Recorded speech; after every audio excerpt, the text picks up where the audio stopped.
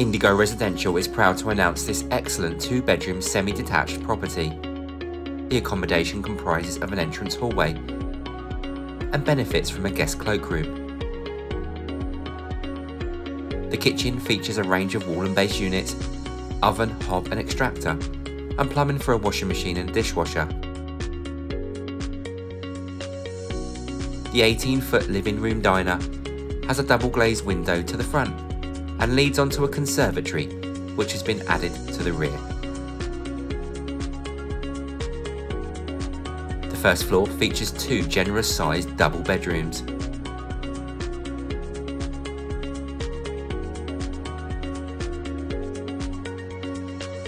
There's a refitted bathroom, which comprises from a three-piece suite, including panelled bath with overhead shower, low-level WC, a wash hand basin and a vanity unit.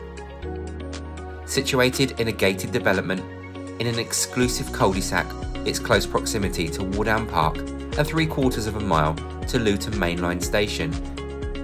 Externally there's a low maintenance garden to the rear with artificial lawn and gated side access. The garage has also been converted into an annex office and there is an additional bathroom which has been added.